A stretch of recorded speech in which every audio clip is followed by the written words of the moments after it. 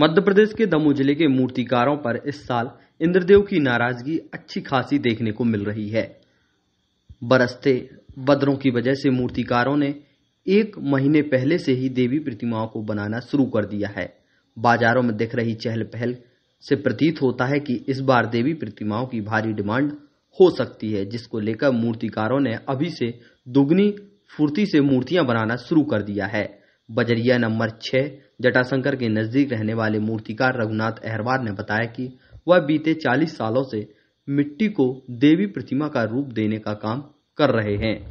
वहीं बारिश होने के चलते अब मूर्तियों को उनका अंतिम रूप दिया जा रहा है, जिसका काम जोरों से चल रहा है। जी, मेरा नाम रघुनाथ अहरवार है। बजरिया नंबर छः जटाशंकर प्रतिरंग सेंटर के पास रहता हूँ। यहाँ मूर्ति कार मूर्ति बनाता हूँ।